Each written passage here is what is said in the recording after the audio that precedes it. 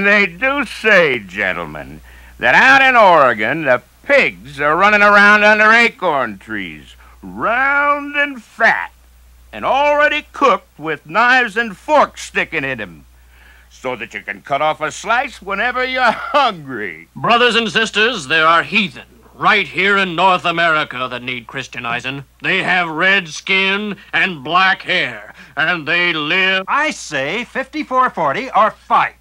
The rich land bordering the Pacific Ocean does not belong to England. It is this nation's manifest destiny. As early as 1830, wagon wheels began to roll northwest. Fur traders pushed, pulled, and cursed their wagons across what they called the Great American Desert to the foot of the Rocky Mountains.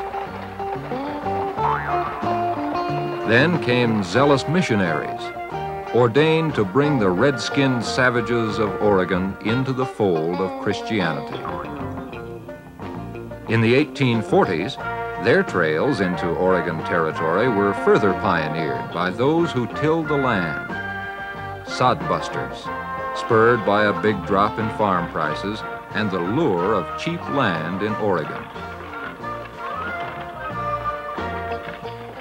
By the 1850s, the trickle had become a flood. Pouring out of the waters of the Missouri, a multitude of saints pursuing a new Jerusalem shared the same forbidding landscape with those seeking their fortune at the end of a swinging axe.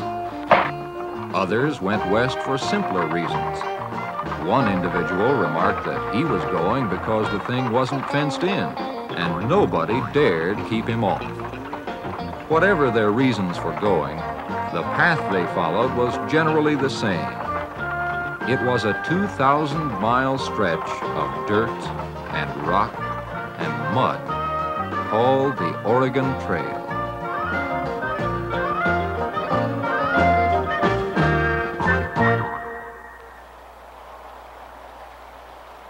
Big Muddy, the wild Missouri. In late March and early April, this river came alive with steamboats. Starting at St. Louis, they carried emigrants by the thousands and cargo by the tons upriver to what were rightly called the jumping off places. Independence and Westport, old border towns on the Santa Fe Trail. As time passed, towns further upriver became points of departure. Weston, St. Joseph, and Council Bluffs, Iowa. However, for the first migrations, Independence was the hub.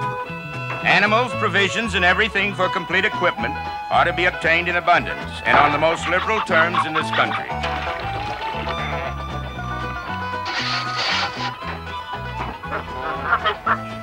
During one period, 47 blacksmith shops resounded with the incessant ring of anvil and hammer.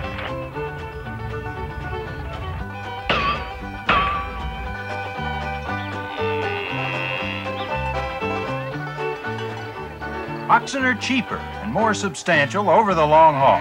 Yeah, but mules are faster and stand the heat better. Five months for oxen in a wet year. Four months with mules in a good dry one. Into a small oblong box with a high canvas top went the sum total of their earthly possessions. When the yellow-brown grass of winter turned green and measured four inches, long enough for stock to graze, it was time to hit the trail.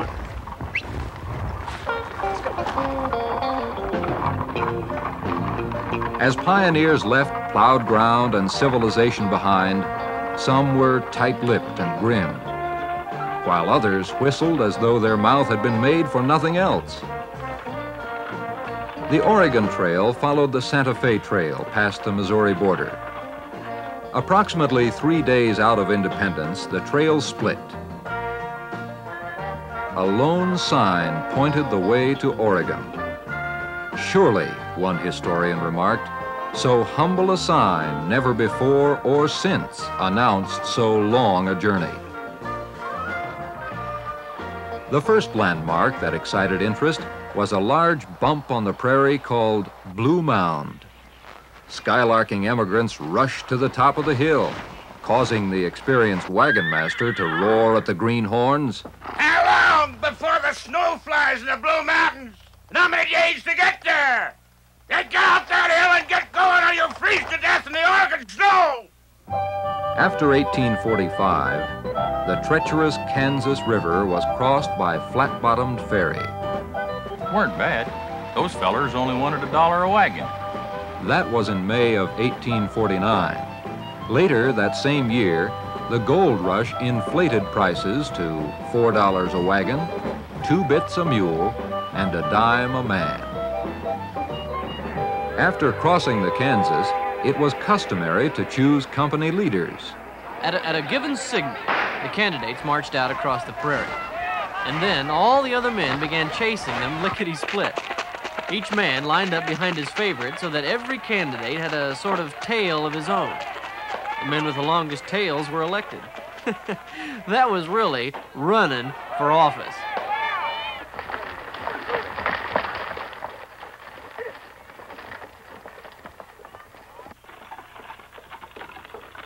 Prairie flowers are beautiful beyond all description.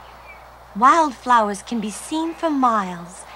Thousands of small flowers with delicate blossoms and great variety in color spring up everywhere, like sweet emotions that sometimes come to the most desolate heart.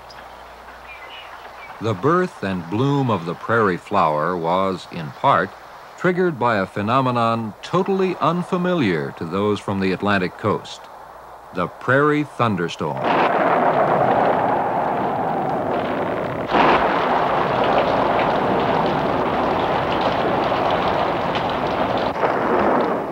Towards sunset, the storm ceased as suddenly as it began. Yet scarcely had the night set in when the tumult broke forth anew. Lightning flashed all night, and the long roll and peal of thunder crashed and echoed over the boundless prairie.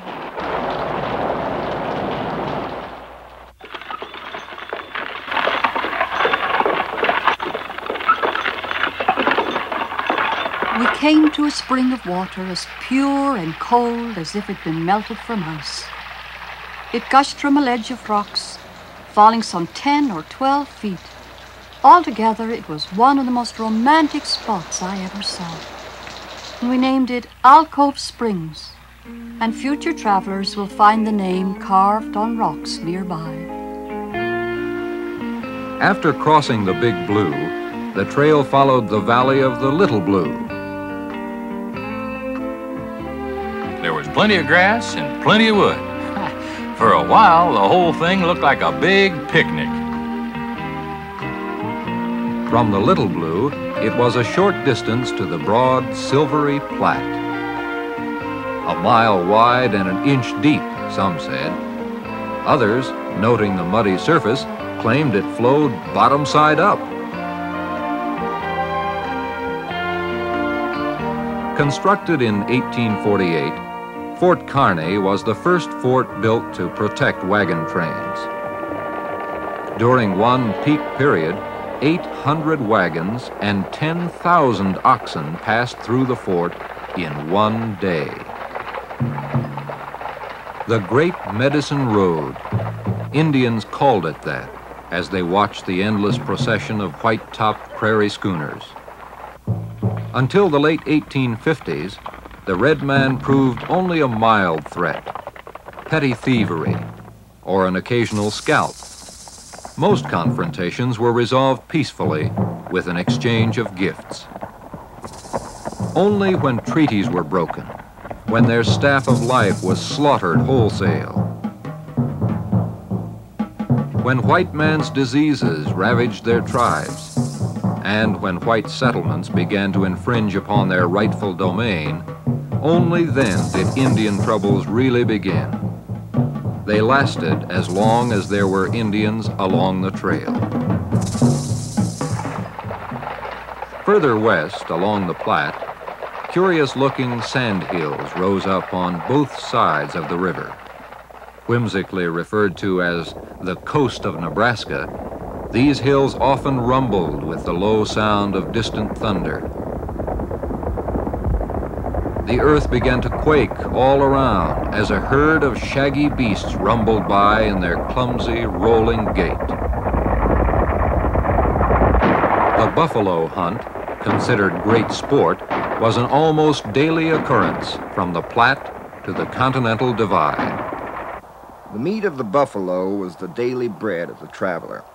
Though some preferred the tongue and others the hump, all parts were excellent food. Sometimes the tough hide was used to make boots for the oxen, protected their hooves from the parched, sandy ground. Yeah, and what's more, buffalo chips made a good cook fire when you couldn't get wood. A lot of folks wouldn't believe them chips would burn longer than wood and didn't have no odor till they tried it themselves. Shortly after crossing the South Platte, the trail ascended a broad ridge.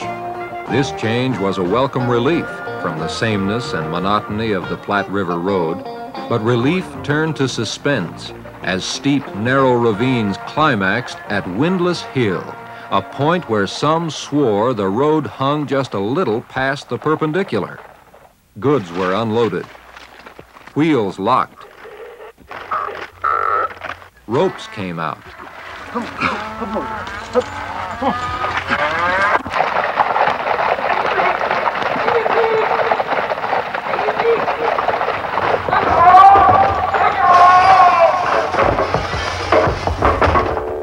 Fortunately, at the bottom, gentle hills led to the North Platte and Ash Hollow, where a delightful grove of ash and cedar trees provided a perfect spot for weary travelers to rest and make repair.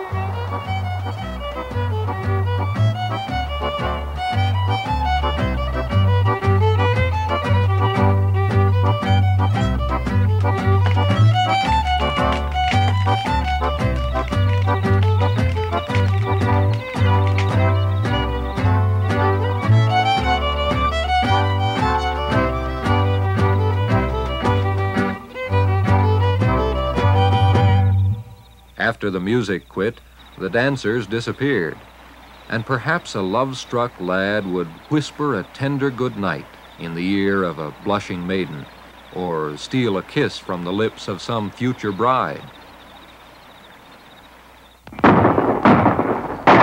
Yes, sir. Every morning at 4 a.m., the guards on oh, duty fired their rifles. Women and children prepared breakfast while the menfolk struck tents and rounded up animals. At 7, the signal to march would sound, and the caravan would draw its lazy length into formation. Each day, the same routine, the same goal 20 miles. 20 miles? More like 15. Usually less. Courthouse Rock and its small neighbor Jail Rock were portals to a new and distinct region, a place where rocks and hills aroused poetic fantasies in letters and diaries. A strangely eroded spire reared up out of the prairie like a giant storm shattered tree trunk. Chimney Rock resembled A haystack with a pole sticking out its top. An open umbrella. A church steeple. A big sweet potato hill with a pile of rocks on top. and then Scott's Bluff, the Gibraltar of the plains.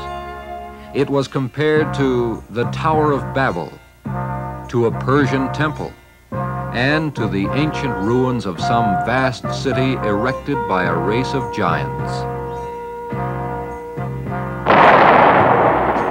Fort Laramie, 640 miles from Independence.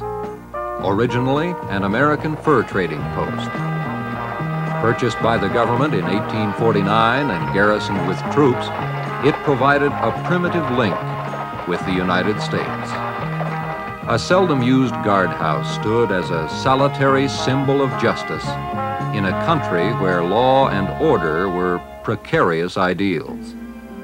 The real prison, however, was the close living quarters of the wagon train. This closeness, coupled with the common hardships of the long journey, produced conflict.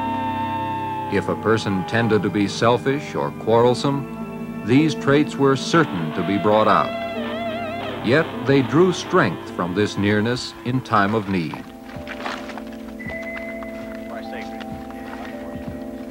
The frequency of death made reference to it almost casual. Each day, an ox or mule collapsed in harness.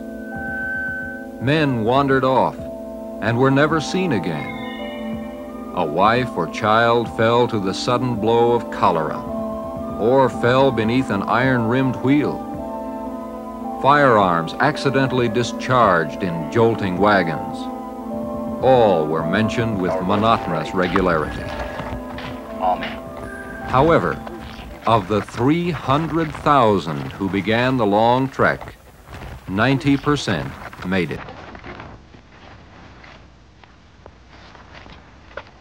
Wagons were driven over fresh graves to help destroy the scent and keep wild animals from digging up the remains. Names and dates were scratched into every available surface. Most etchings quickly eroded, but at Register Cliff, indelible signatures told all who passed by, I was here, and if only in a small way, have left my mark on this world.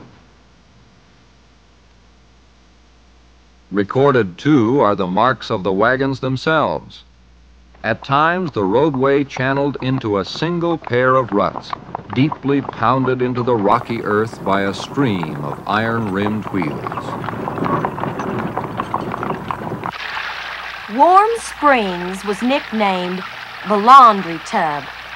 We spent an extra day there tidying up. Wash days were few and far between. Clean clothes just weren't a trademark of the trail. High and lofty, Laramie Peak crowned the Laramie Mountains, a stately range which anxious travelers often mistook for the Rockies. Near the Red Buttes, the emigrants caught their last glimpse of the Platte. They had followed this unique river 500 miles.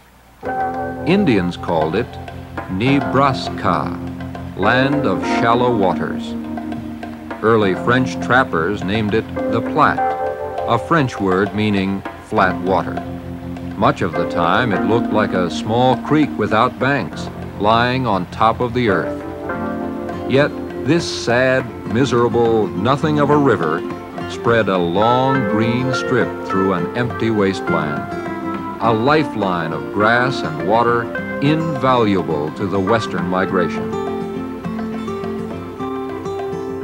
Now the trail led toward a massive stone outcropping on the barren plain. Here there were no alternatives. All who traveled west had to pass Independence Rock, the most famous landmark on the trail.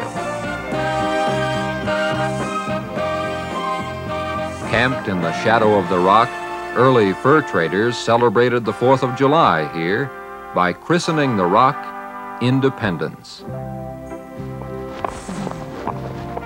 It was an easy climb, and on top, we had a full view of the surrounding country. Four miles to the west of Independence Rock, the Sweetwater River cut a V shaped rift through a granite ridge. Devil's Gate. I remember when a young girl of 18 fell from the top of the ridge. We buried her in the gorge, and someone wrote an epitaph. It was fitting. Here lies the body of Caroline Todd, whose soul has lately gone to God. Here redemption was too late. She was redeemed at Devil's Gate. The ragged eye of Split Rock watched over each caravan for days. This silent sentinel in the Rattlesnake Hills observed while wagon trains crossed and recrossed the Sweetwater. Between Split Rock and South Pass, the climate became arid and the ground sterile. One exception was a small oasis in the form of a grassy swamp, the Ice Slough, A natural peat bog insulated winter ice and preserved it throughout the warm summer months. We dug down 18 inches and came to a bed of solid, clear ice. We put some in water kegs and enjoyed the luxury of ice water all that hot day as we approached famous South Pass. South Pass, a broad 20 mile saddle in the Rocky Mountains, was usually a disappointment. Heck, if you didn't know it was a mountain pass, you wouldn't know it from any other place. The Oregon Buttes to the south, the jagged, snow capped Wind River Range to the north. Yet, not until they actually saw water flowing west toward the Pacific Ocean could the emigrants believe they had crossed the backbone of the continent.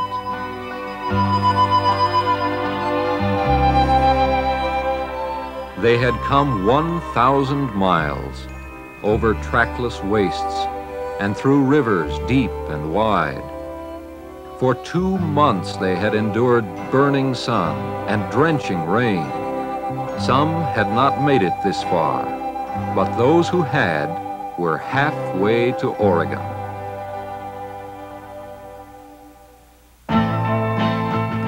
Prominently located on the east bank of the Mississippi, the city of Nauvoo had prospered to become the largest in the state of Illinois. It was the headquarters and gathering place for the Church of Latter day Saints. In 1844, Joseph Smith, founder and leader of the church, announced that he was a candidate for President of the United States. But political and religious violence erupted. Smith was jailed on a charge of treason and murdered by an armed mob. Two restless years elapsed before the Lion of the Lord, Brigham Young, led a portion of the saints on a wintry exodus across the frozen Mississippi, initiating one of the most astounding folk movements in history. By the late 1840s, hundreds of Mormon families had joined the throngs plodding westward on the Oregon Trail. First by wagon and later by handcart, the saints fled violence and followed prophecy to a new homeland in a valley of the Rocky Mountains. They crossed South Pass, forded the Little Sandy, and pursued the well-watered route to Fort Bridger. Jim Bridger had built a small trading post at the Black's Fork of the Green River. It marked the spot where the Mormon Trail branched off and headed for the valley of the Great Salt Lake. Sublette's Cutoff became popular when the 49ers traded Oregon fever for gold fever. Impatient and in a hurry, great hordes of gold seekers took the parched, non-stop 50-mile run for the Green River. We saved three days by taking the cutoff, and then joined up with the Fort Bridger route at the Bear River. Wagons fanned out for miles over this broad river valley all the way to Soda Springs. There were miniature geysers and bubbly springs, and all of them had the stingy taste of soda water. I remember one old fellow with a vivid imagination. He claimed it made a good lemonade when mixed with sugar and syrup. Approximately one week after leaving Soda Springs, the emigrants arrived at Fort Hall. Owned by the Hudson's Bay Company of England, this whitewashed bastion on the plain had its heyday early. The decline of the fur trade spelled ruin. By 1853, it was completely abandoned. Near Fort Hall, the emigrants encountered a river that early French trappers called accursed and mad. Deceptive calm would suddenly transform into a maze of rapids and foaming white water. For 200 miles, through rock and desert, covered wagon trains twisted along a river so crooked it was called the Snake perpendicular canyon walls denied thirsty men and beasts a drink. The surrounding country is rough, broken, and destitute of grass. Indeed, a land of fracture, violence, and fire. Yet this harshness was interrupted by a stunning and irresistible array of waterfalls.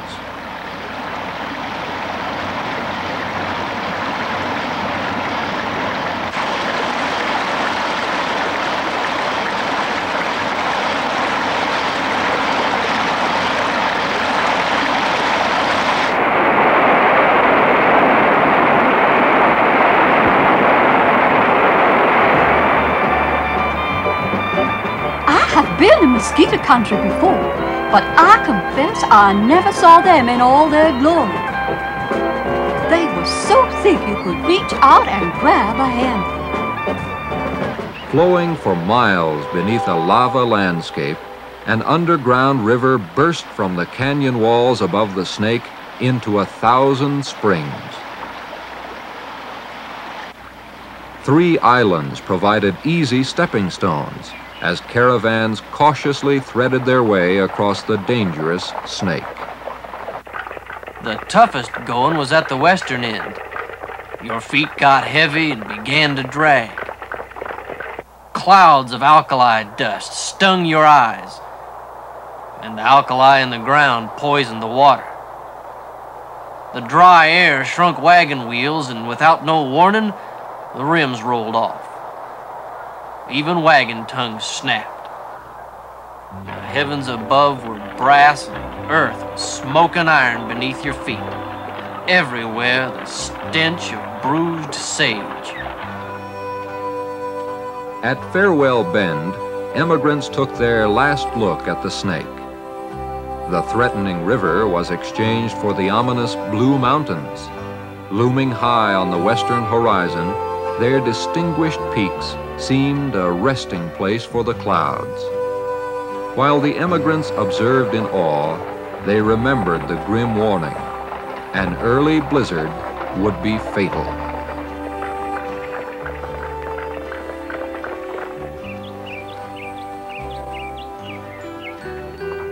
These mountains were the final dumping grounds for coveted pieces of furniture that formed the elegant litter found all along the route. Relics of colonial times that had crossed the Alleghanies and made it to the western frontier could not survive the Oregon Trail. In contrast to the long pull and the constant threat of snow, our spirits were renewed by sparkling streams of pure water and the cool shade of the first forest since leaving Missouri. Now, rolling hills descended into the valley of the Columbia. Emigrants knew this river flowed past the Cascade Mountains and emptied into the Pacific. The goal was now within reach. The Dalles, a small Methodist mission, marked the end of the wagon trail. From here, emigrants floated downstream to Fort Vancouver on wooden rafts. In 1845, however, Sam Barlow insisted that God never made a mountain without leaving a pass through it. He proved it by gouging a wagon road past the snow-capped cone of Mount Hood and into the valley of the Willamette River. The raft trip was a pleasant contrast to the dusty trail. Except when the old river, tumbling through rocky lava beds, picked up the small rafts and overturned them.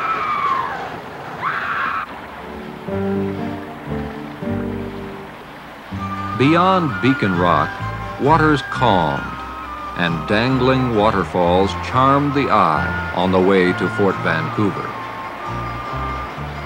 Fort Vancouver was the major supply base for the Hudson's Bay Company. The first emigrants arrived tired, hungry, and with few provisions. Dr. John McLoughlin, commander of the fort, provided supplies and extended credit to the impoverished travelers.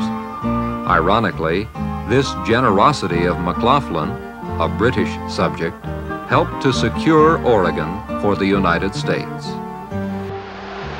Oregon's destiny was now manifest.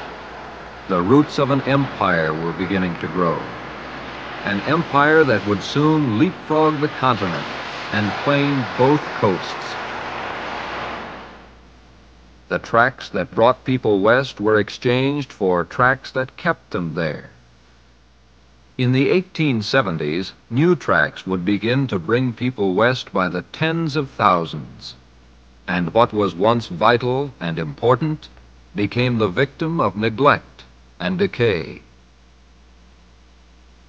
Spectacular falls were replaced by dams and powerhouses. Small settlements grew into large towns and cities. Yet, for a short moment in history, like the shadow of a passing cloud on the face of time, an incredible 2,000 mile journey by foot and wagon made its mark.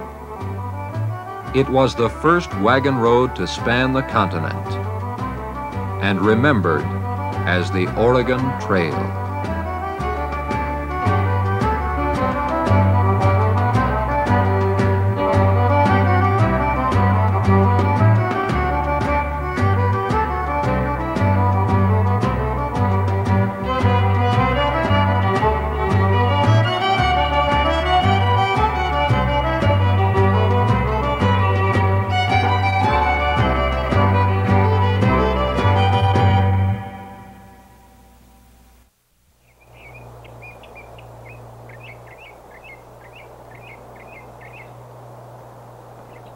H. Russell, one of the most colorful businessmen on the American frontier. High spirited and a bit reckless, Russell had a flair for doing things on a grand scale.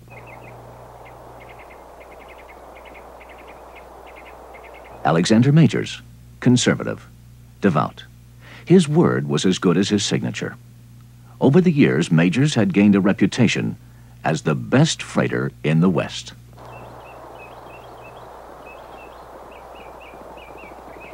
William B. Waddell, a man with keen business ability, but cautious by nature. Waddell was not inclined to gamble. In April 1860, the firm of Russell, Majors, and Waddell launched a cross-country mail service. The mail was carried on horseback, carried faster than ever before. It was carried by the Pony Express.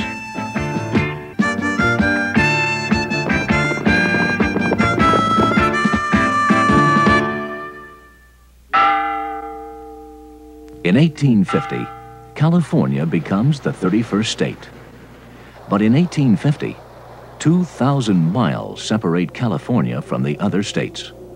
2,000 miles of wilderness.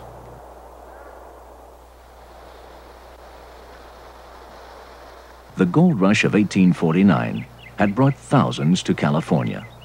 Now these new citizens are demanding a regular mail service to link them with the rest of the country. Mail service in the 1850s is slow, irregular, and expensive. Letters carried by wagon trains take months to cross the continent. Some letters never arrive at all. Ocean steamers hired by the government transport the bulk of the mail. The sea route, including a 50-mile trek through the jungles of Panama, takes about six weeks for delivery. But the schedules of the Pacific Mail Steamship Line are most unreliable. Attempting to improve mail service, the government experiments with mules, pack horses, even camels. None prove successful. Finally, the Post Office Department awards a six-year contract to the Butterfield Overland Mail Company, a company formed by the merger of the Adams, American, National, and Wells Fargo Express companies. By 1858, Butterfield stages are relaying back and forth along the southern, or Oxbow route. This route forms a long, flat semicircle between St. Louis and Memphis to the east and San Francisco on the west. But promoters of the Central Route claim this passage west is more direct and therefore faster. It follows the old Oregon and California trails. Shorter, yes, but mail carriers are troubled by winter storms and Indian raids.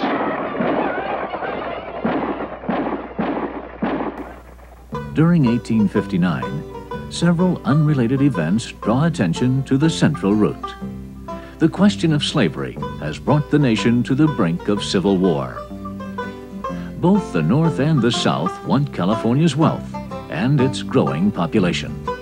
The South has access to California along the Butterfield Route. The North must maintain the Central Route. The Pikes Peak Gold Rush. The Comstock Lode. Fortune seekers again pack up their belongings and hurry west over the Central Route.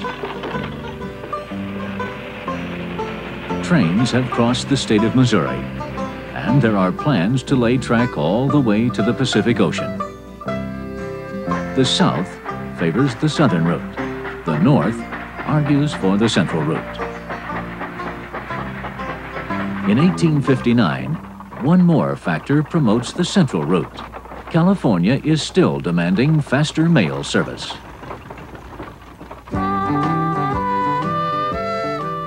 Lexington, Missouri was a busy trade center on the western frontier. Here, in 1851, two successful businessmen, William Russell and William Waddell, became partners and began delivering supplies to United States Army forts. Alexander Majors was a modest farmer. In 1848, he sold his farm, bought six wagons, and began hauling freight on the Santa Fe Trail. Six years later, he owned and operated the largest freight company in the West. In 1855, Majors became a business partner of Russell and Waddell. In this new firm, Russell was responsible for obtaining contracts. Majors was the field boss, in charge of operations. Waddell was the money man, the financier. Within two years, this company had established a monopoly on all military trade west of the Missouri River.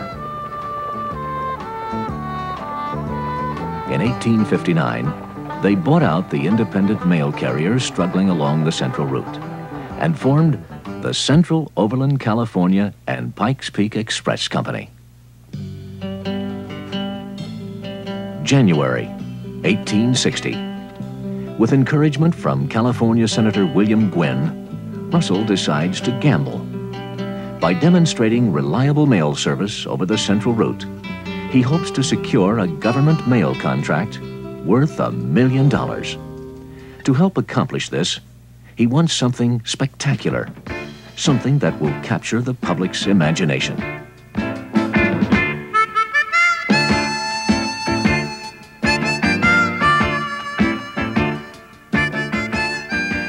At first, Majors and Waddell balk. Other investments have put the freighting company deeply in debt. Russell, however, confident of the government mail contract, persuades them to carry out the project.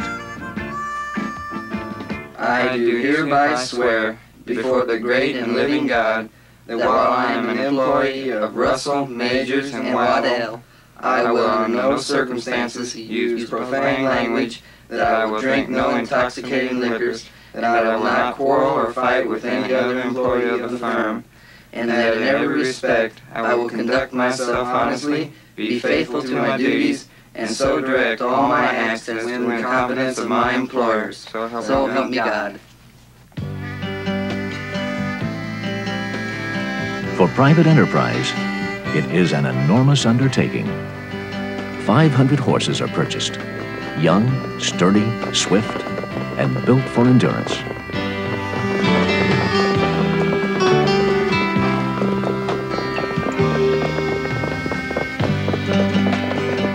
St. Joseph, Missouri is selected as the eastern terminal.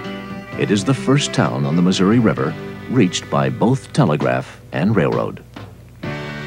Sacramento, California is designated the western end of the run.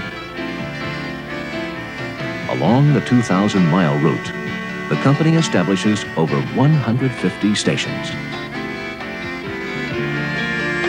Relay stations are located every 10 to 15 miles. These stations are small shelters where riders will be allowed two minutes to change horses. Home stations are located every 50 to 75 miles.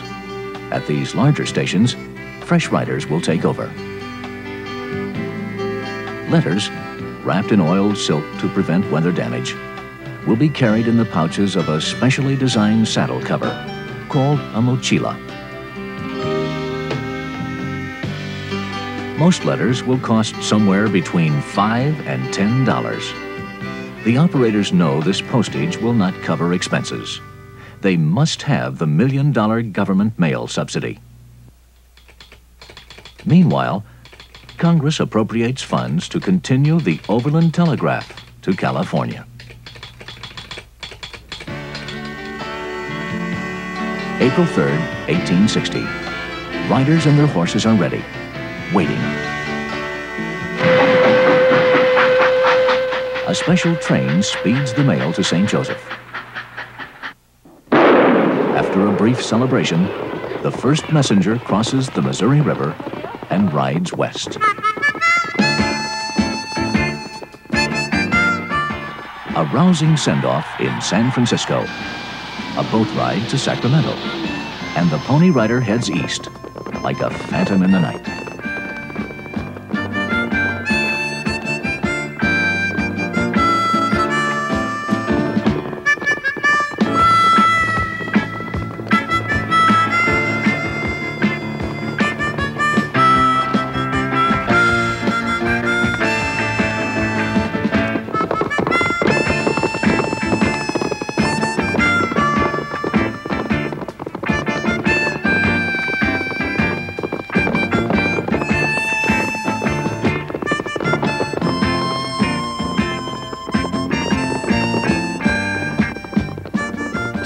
Later, the last two couriers reach St. Joseph and San Francisco. Butterfield's time is cut in half. The whole country celebrates. Except for Native Americans, who fear their land will soon be taken. In late May, Paiute Indians kill one rider and several station attendants. Horses are driven off. Stations are burned. After two months of operation, Major shuts down the Pony Express. Six weeks pass before the uprising is crushed. Losses are severe. 150 horses, seven stations, 16 men killed. This is a devastating setback to a firm already in financial difficulty.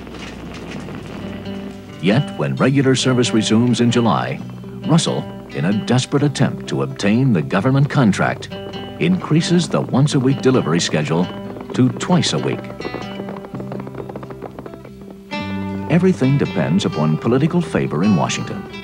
But Congress, distracted by a national election and the threat of civil war, fails to act. Russell, still expecting a miracle, continues to borrow heavily. Majors and Waddell prophesy doom. November 1860. Telegraph lines now extend as far west as Fort Kearny, as far east as Fort Churchill. For the Pony Express, winter storms stretched the average delivery time to 15 days. In December, a political storm breaks in Washington. Russell is implicated in a bond scandal involving misappropriated government funds. Charges against Russell are dropped, but his name remains tarnished. February 1861. Texas militia cut operations on the southern route. Now Congress transfers the Butterfield Overland Mail Company to the central route and gives it the million dollar contract.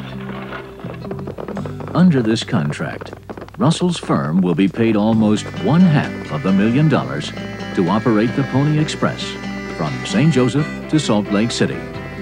But it is too little and too late.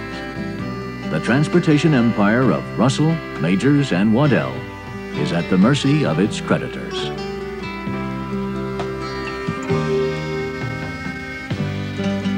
The Overland Mail Company operates the Pony Express until late October. When the telegraph becomes transcontinental, the need for fast mail service is over. During its short lifespan of 19 months, the Pony Express provided efficient and reliable mail service over the central route. It kept alive a northern tie with California at a crucial time, and it made a national hero of the Pony Rider. No conquering hero of Venice or Rome, rich laden with spoils for his city and home, and returning with honor, the darling of fame was ever accorded more royal acclaim. By the wealthy, the poor, the wise, and the clown, than I, on attaining the streets of this town. For I have come through to the end of the trail, and I have delivered the government mail.